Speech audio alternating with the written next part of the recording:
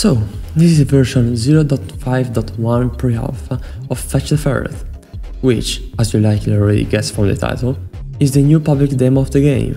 To download it, check the link in the description. So, I'm a tad late. This demo was initially supposed to be a fixed version of the one I made for EdgeCamp back in November.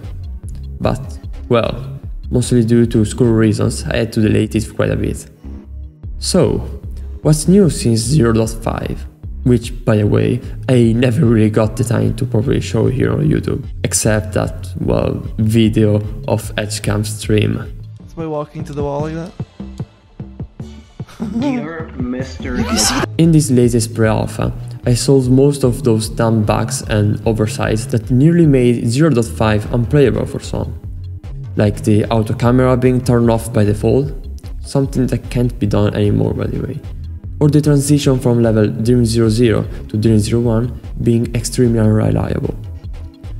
In 0.5.1, I've also added some new stuff, like a bigger and greatly improved level design for Dream 00, a new less awkward looking walk on all fours animation, don't worry, I'll eventually redo most of animations from scratch, and a brand new track for Dream 00. It's definitely different from most of my tracks, but I'm quite satisfied with what I pulled off so far. Before closing this summary of this new version, I unfortunately have to say that it's not bug free. Not by a long shot. Some the fact that I wanted to release it before the end of 2018 to some unreasonable Unity bugs, like level loading being not as stable as should be, or post-processing transitions not working as out of Unity's editor, which resulted in a clearly worse looking second level. Like at the right you can see how it looks like while I'm working on it and how it looks like in the demo. So you get the point. The result is an overall pretty rough demo.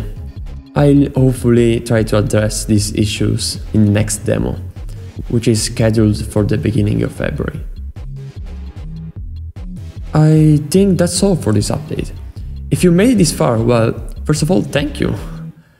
And second of all, as much as I'd love to post more frequently videos about my game here on YouTube, it takes time.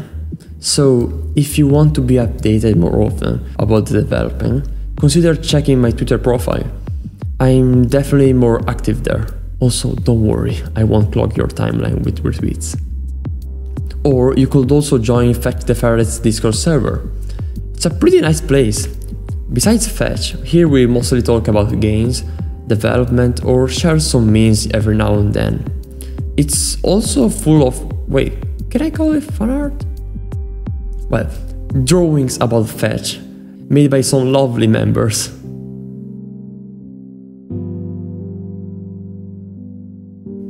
And with that said,